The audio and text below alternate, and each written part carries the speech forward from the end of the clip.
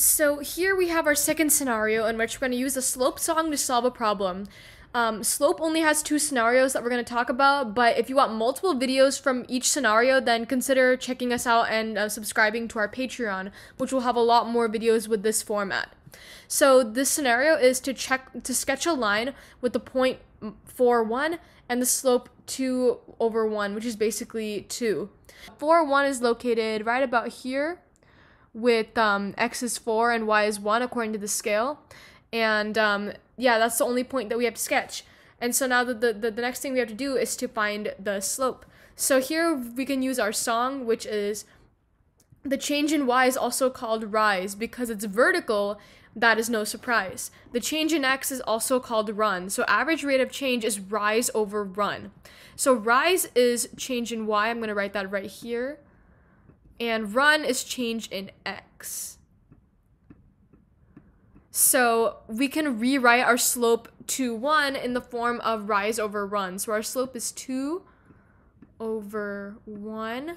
And so 2 is rise, or like I could have written delta y, and 1 is the run. So what we do when we have rise over run is we look at the rise first the rise equals 2, so we have to move this line, this point up by 2. So we get 3 as the y coordinate. And then the change in x is called run, and that's just 1. And so you shift this point again to the to the right by 1 and you get this point right here, which is 5 3. So I'm going to write 5 3 over here. That's the new point.